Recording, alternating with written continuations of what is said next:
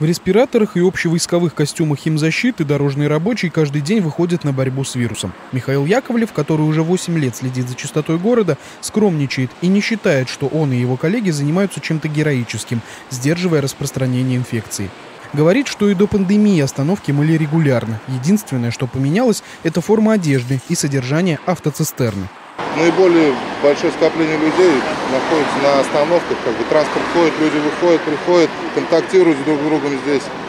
Поэтому и это основное как бы получается. Стараемся вообще полностью обработать все, и сверху, и снизу, и снутри, и снаружи, везде, где можем дотянуться. Остановки и тротуары обрабатывают раствором гипохлорида натрия. Его добавляют 2,5 литра на 1 куб воды. Оно сертифицировано Роспотребнадзором и безопасно для человека, если попадет на одежду или кожу. В зоне ответственности специалистов агентства по содержанию автомобильных дорог Самарской области находятся главные артерии города. Московская, Волжская, Красноглинское шоссе, улицы Демократическая и Новосадовая. Обработка подземных переходов, ограждений, тротуаров и остановок – это завершающий процесс ежедневной большой уборки. Первой водные процедуры принимает сама проезжая часть. По технологии мы очищаем пылесосами проезжую часть.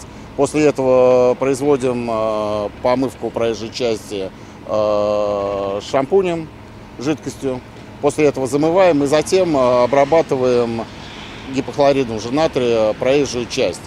Мойку и санобработку улиц ежедневно выполняют по поручению губернатора Самарской области Дмитрия Азарова. Чтобы продезинфицировать все 50 километров автомобильных дорог и прилегающих территорий, в одну смену выходят 60 человек и 25 машин спецтехники.